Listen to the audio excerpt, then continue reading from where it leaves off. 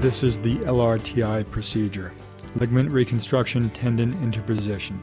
I'm making an incision over the base of the thumb, which is arthritic. I dissect down, release the tendon so they don't get caught up in postoperative scarring. Here there's a little bit of instability of the uh, thumb metacarpal phalangeal joint, so I do a tendon transfer to take care of that problem. Then I dissect out the arthritic joint and I expose it. I remove the arthritic bone that is causing the pain. I check to make sure no parts are left behind, especially those bone spurs. Then I take the tendon and I isolate it so I can tension it and find it in the forearm. Isolate it in the forearm wound.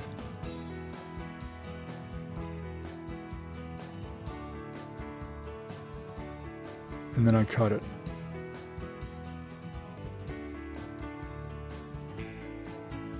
Bring it through to the wound on the base of the thumb. Suture the forearm wound, and I burr a hole in the base of the thumb's metacarpal that I can pass the tendon through.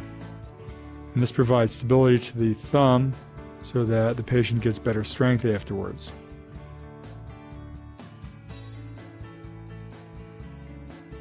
This is the ligament reconstruction portion of the procedure. And it passes nicely through the hole. To tension it, I drill the hole for a suture anchor. Looks like the head of a harpoon and it has stitches attached and helps hold everything together until it's fully healed and fully scarred in. And with my assistant holding the thumb in the reduced position, I put the stitches from the suture anchor through the tendon. This recreates the new ligament to provide stability for the base of the thumb.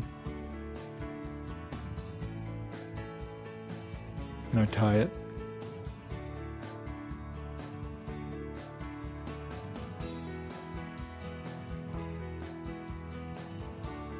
Now I use a second stitch to reinforce it as sort of a backup, tie the tendon to itself over the base of the thumb.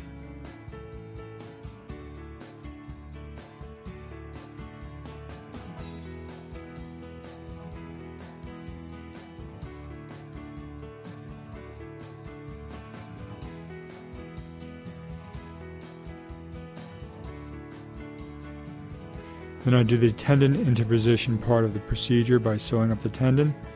So instead of an arthritic bone that hurts, that the thumb used to rest on, it'll rest on a soft little tendon pillow, and so there'll be no pain. And I suture it in below the thumb. Then I close up the joint.